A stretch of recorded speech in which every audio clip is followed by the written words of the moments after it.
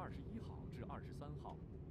习近平在西藏自治区党委书记吴英杰、自治区政府主席齐扎拉陪同下，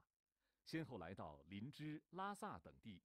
深入农村、城市公园、铁路枢纽、宗教场所、文化街区等，看望慰问各族干部群众。二十一号上午十一时许。习近平乘坐飞机抵达林芝米林机场，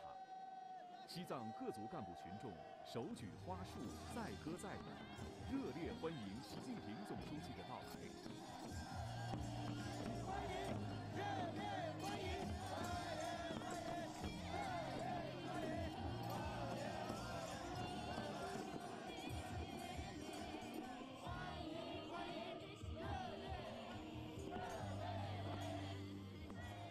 各族干部群众向总书记献上切马、青稞酒，表达对总书记的衷心祝福。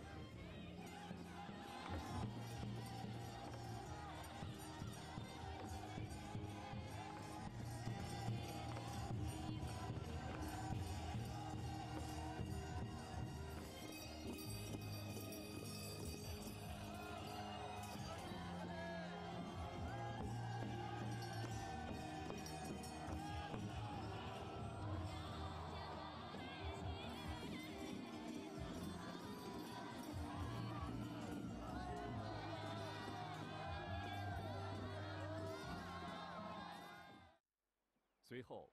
习近平乘车来到尼洋河大桥，听取雅鲁藏布江及尼洋河流域生态环境保护和自然保护区建设等情况。习近平指出，雅鲁藏布江这个水系啊，难得的一块绿地、绿肺。另一方面，它的生态啊还是很脆弱，所以我们保护和利用以保护为主。习近平远眺水波荡漾、草木葱茏的雅尼湿地，他强调，要坚持保护优先，坚持山水林田湖草沙冰一体化保护和系统治理，加强重要江河流域生态环境保护和修复，统筹水资源合理开发利用和保护，守护好这里的生灵草木、万水千山。